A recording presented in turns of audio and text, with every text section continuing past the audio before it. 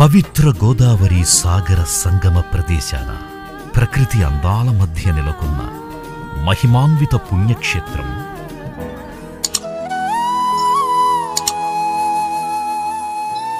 అంతర్వేది శ్రీ లక్ష్మీ నరసింహస్వామి ఆలయం.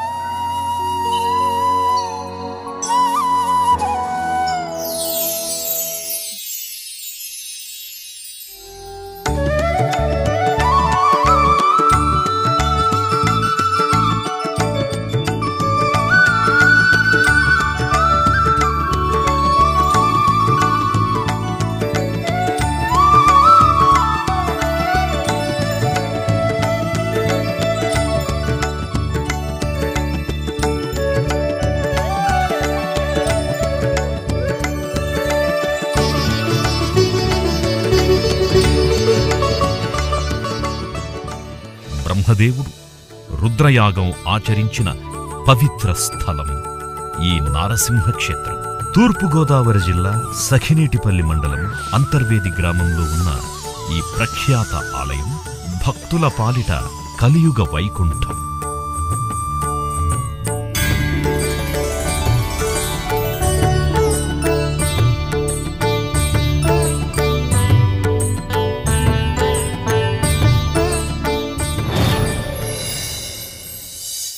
స్థల పురాణం కృతయుగంలో వశిష్ఠ మహర్షి గోదావరి పాయను ఇక్కడకు తీసుకొచ్చి యజ్ఞం చెయ్యడం ప్రారంభించాడు. హిరణ్యాక్షుడి కుమారుడైన రక్తవిలోచనుడు యజ్ఞవాటికను ధ్వంసం చేసి మునులను హింసించసాగాడు. అప్పుడు స్వామీ నృసింహ నీవే మా దిక్కు అని వశిష్ఠుడు స్వామివారిని శరణు వేడాడు. శరణాగత రక్షకుడైన స్వామి వెంటనే ప్రత్యక్షమై రక్తవిలోచనుణ్ణి సంహరించాడు. అనంతరం వశిష్ఠుడి ప్రార్థన మేరకు అక్కడే పశ్చిమాభిముఖంగా శ్రీ లక్ష్మీ నృసింహుడిగా వెలిశాడు.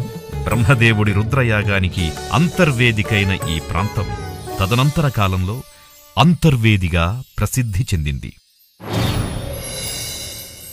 ఆలయ చరిత్ర శిల్పశైలి ఆధారంగా ఈ ఆలయాన్ని క్రీస్తు శకం పదకొండు పన్నెండు శతాబ్దాల మధ్యకాలంలో చాళుక్యులు నిర్మించినట్టు తెలుస్తోంది. చాళుక్యులు రెడ్డిరాజులు విజయనగర ప్రభువులు పెద్దాపురం సంస్థానాధీశులు ఈ ఆలయాన్ని పోషించారు. చాళుక్యులు నిర్మించిన ఆలయంలో కొంత భాగం వరదల వల్ల శిథిలమైంది పదిహేడో శతాబ్దంలో పెద్దాపురం జమీందార్ ఈ భాగాన్ని పునర్నిర్మించారు. పద్దెనిమిది వందల ఇరవై మూడవ సంవత్సరంలో కొపనాతి కృష్ణమ్మ ఈ ఆలయానికి ప్రాకారాలు మండపాలు నిర్మించారని శాసనాల ద్వారా తెలుస్తోంది. వివిధ రాజవంశాలు జమీందార్లు ఈ ఆలయానికి సుమారు తొమ్మిది వందల ఎకరాల భూములను కానుకలుగా సమర్పించారు. పూజలు ఉత్సవాలు. లక్ష్మీ నరసింహస్వామికి నిత్యం పంచామృత అభిషేకాన్ని నిర్వహిస్తారు. ఏటా మాఘశుద్ధ నవమి నుంచి మాఘశుద్ధ పౌర్ణమి వరకు స్వామివారి బ్రహ్మోత్సవాలు అంగరంగ వైభవంగా జరుగుతాయి. పాడ్యమి నాడు నిర్వహించే శ్రీ లక్ష్మీ నృసింహుల విహారయాత్ర తెప్పోత్సవం పుష్పోత్సవం భక్తులకు నేత్రపర్వాన్ని కలిగిస్తుంది. దశమి నాడు జరిగే స్వామివారి కళ్యాణం ప్రతి ఒక్కరికీ కమనీయమైన నేత్రానందాన్నిస్తుంది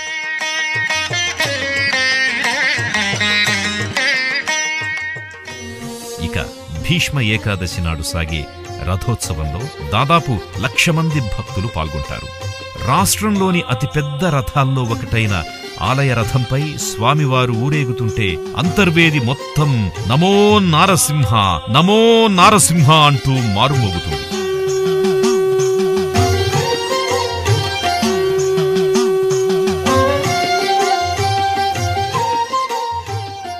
వైశాఖ శుద్ధ చతుర్దశి నాడు స్వామివారి జయంతి ఉత్సవాలు సైతం కన్నుల పండువగా సాగుతాయి. ఆలయ విశేషాలు. ఎత్తైన రాజగోపురం.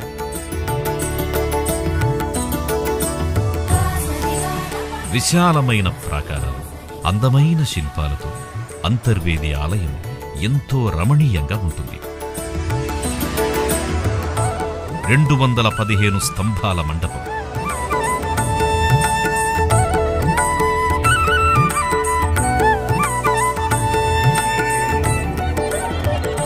పదహారు కాళ్ళ స్తంభాల మండపం.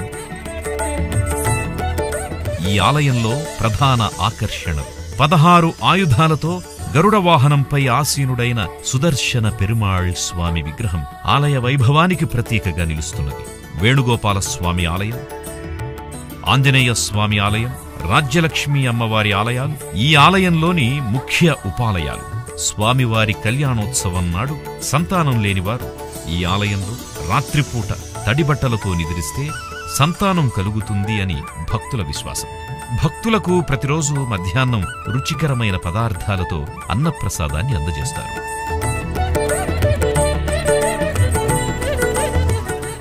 భక్తులు బస చేయడానికి తిరుమల తిరుపతి దేవస్థానం వారు నిర్మించిన ఇరవై విశాలమైన గదులు అందుబాటులో ఉన్నాయి.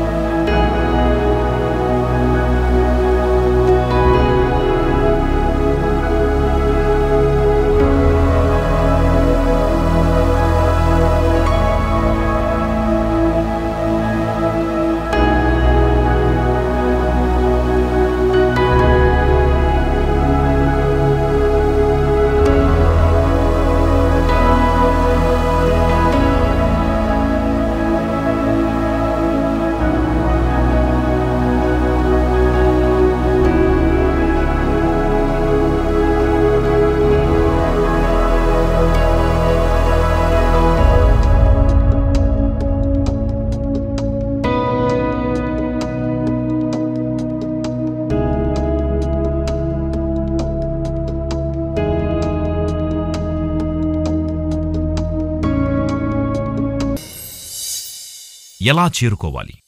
విమాన మార్గం ద్వారా రావాలంటే మొదట రాజమండ్రికి చేరుకోవాలి. రైలు మార్గం ద్వారా చేరుకోవాలంటే మొదట నరసాపురం రాజమండ్రి కాకినాడల్లో ఏదో ఒక స్టేషన్కి చేరుకోవాలి.